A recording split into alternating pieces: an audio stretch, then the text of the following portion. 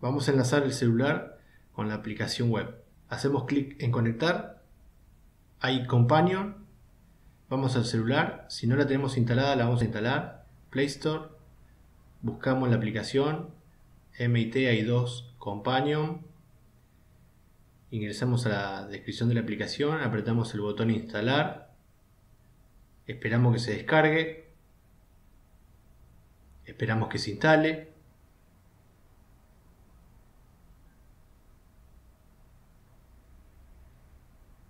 Apretamos el botón abrir, apretamos permitir, apretamos escanear el código QR, permitir, escaneamos la pantalla, esperamos que se cargue la aplicación,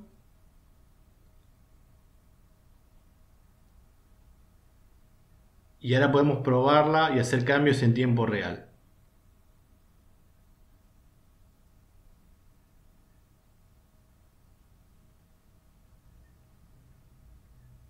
¿Cómo instalar la aplicación en el celular? Vamos a generar app, generar código QR para el archivo APK.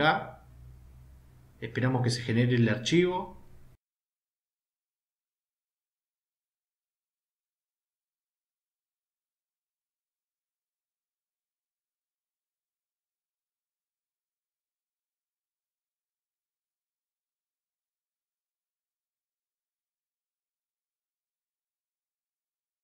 Abrimos el celular, la aplicación de cámara para capturar el código, apretamos en la URL, descargamos el archivo, apretamos el botón instalar, ahí nos da una opción de seguridad, decimos que se instala igual,